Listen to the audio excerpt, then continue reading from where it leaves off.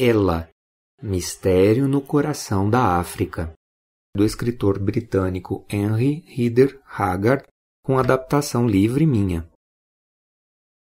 No capítulo 3, após uma semana subindo o rio e entrando cada vez mais no coração da África, fomos capturados por uma tribo e imaginávamos que seríamos mortos.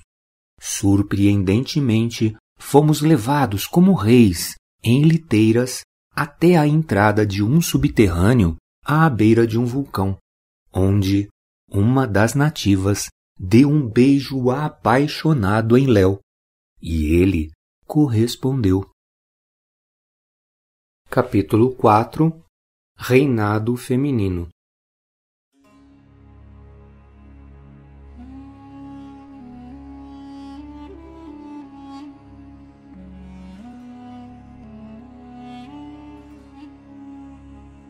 Logo soubemos que o significado do beijo era outro. Bilal nos convidou para entrar na caverna. E a moça que tinha beijado Léo, chamada Ustani, entrou conosco. Era costume da tribo dos Amahajer que as mulheres escolhessem seus noivos. O pedido de casamento era feito beijando-se o homem em público. Ao retribuir o beijo, Léo sem saber, havia concordado e consumado o matrimônio. A galeria subterrânea levava até um salão, onde nos serviram uma farta refeição. Bilal ficou nos observando enquanto comíamos e nos contou em detalhes como era a organização do seu povo. O povo dos Amahajer era composto por dez tribos Cada tribo tinha sete mil pessoas e um chefe, o pai, igual a ele. Aquela que deve ser obedecida reinava absoluta sobre todas as tribos. O velho disse ainda que os homens brancos nunca tinham estado ali antes. Os Amahajer continuavam a matar qualquer estrangeiro que subisse o rio e ele já se preparava para fazer isso quando recebeu ordens dela para nos poupar.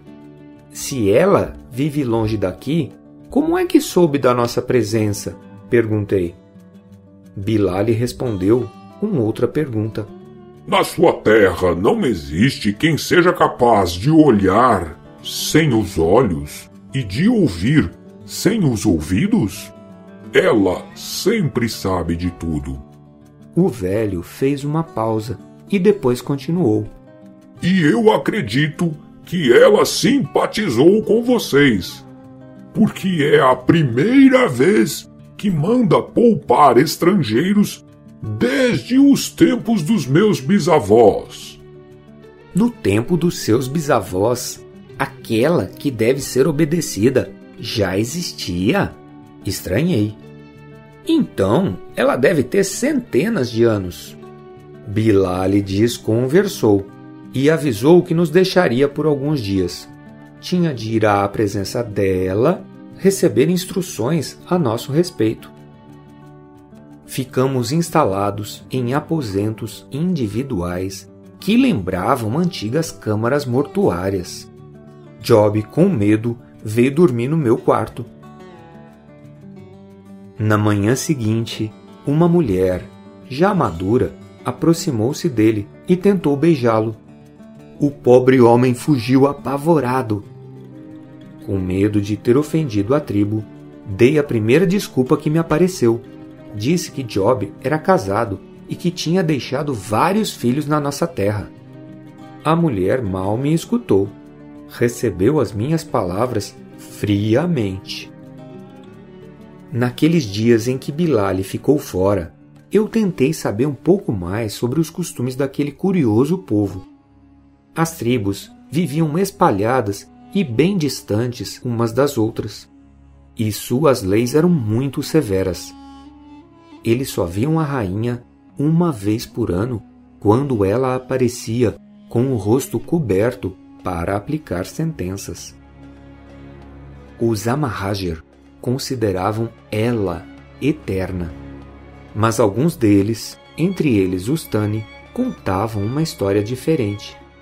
Diziam que ela escolhia um marido e matava logo depois do nascimento de sua herdeira. Quando envelhecia, a rainha se retirava para morrer em um local distante, deixando em seu lugar a filha, a quem já havia ensinado as artes da magia, fonte do seu poder. Qual daquelas duas versões seria a verdadeira? De qualquer forma, uma coisa era certa: a força e o poder de ela eram imensos. Ninguém contrariava. Sua vontade era lei. Um dia, nós estávamos visitando plantações com um Stani, que não saía do lado de Léo, quando nós soubemos que haveria uma festa em nossa homenagem. Aquilo não me soou bem, mas tinha como recusar sem ofender? Os maus presságios se confirmaram quando nos fizeram sentar à volta de uma fogueira e um homem arrastou o Stani para longe. A pobrezinha nos olhava, assustada, vigiada por dois guerreiros.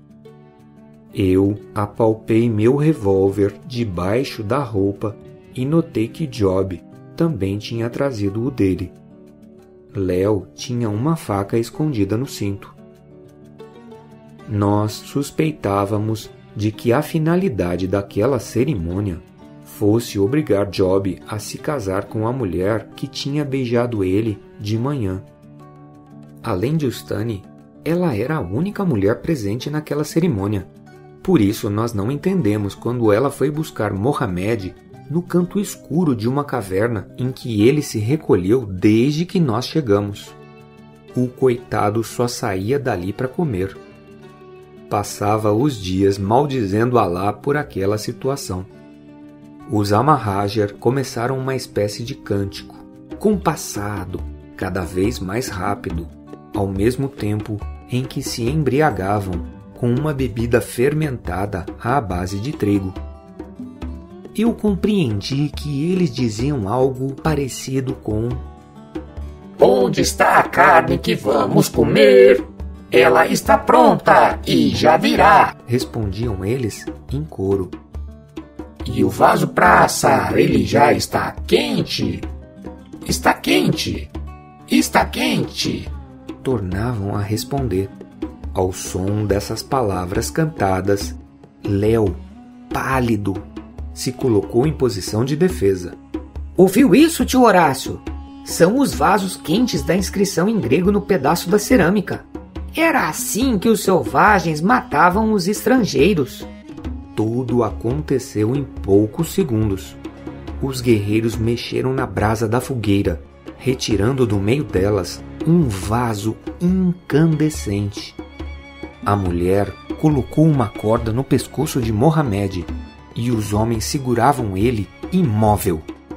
Percebendo as intenções daquele grupo, puxei o meu revólver e atirei na mulher, que antes de cair enterrou a faca no coração de Mohamed. Gritos e tiros soavam na caverna. Rodeados de selvagens, nós nos defendíamos como podíamos. Job e eu usávamos o revólver e Léo manejava sua faca de caça como se fosse uma espada. Atirei em quantos homens eu consegui, até que eu fui derrubado. No chão, vi que Léo estava caído do meu lado e escutei alguém gritando: Tragam uma lança para acabarmos com ele! Nesse instante, a corajosa Ustani jogou-se em cima do marido, protegendo-o com seu corpo. Se não fosse ela, Léo não estaria vivo para contar essa história. Devo a vida de meu filho de criação à jovem Ustani. Por fim, desmaiei no meio das sombras, escutei Bilali exigir que os Amahajar parassem aquela matança. Ele tinha acabado de voltar naquele momento.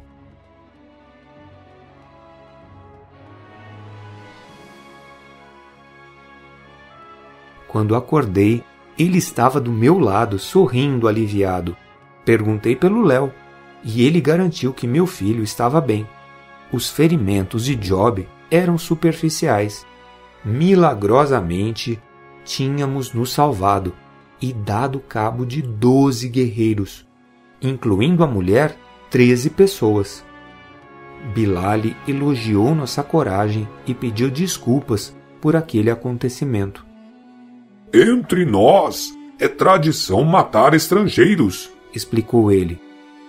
Como ela não disse o que fazer, como o companheiro de pele escura que veio com vocês, eles desrespeitaram minhas ordens e o executaram. Mas aquela que deve ser obedecida irá puni-los com severidade. Podem estar certos. Quanto a mim, ganharam um admirador. Gostaria de saber como funcionam essas armas que têm ruído igual a trovão? Expliquei a ele o funcionamento das armas de fogo e prometi que assim que eu estivesse melhor, faríamos uma demonstração para ele. Bilali tinha ordens de ela para nos levar à sua presença o mais breve possível. Mas Léo não estava em condições de viajar. Tinha melhorado um pouco e o Stani não o deixava um só minuto, cuidando dele com extrema dedicação. No dia de partir, nós achamos melhor o Léo viajar deitado, numa liteira. Estava muito fraco ainda. O Stani vem conosco? Perguntei a Bilali. Se ela quiser, vem. Nossas mulheres podem fazer tudo o que querem, menos uma coisa: contrariar a vontade da rainha. E se ela se recusar a obedecer à rainha, o que, que acontece? O mesmo que acontece com as árvores que não se curvam à fúria do vento. Ele respondeu.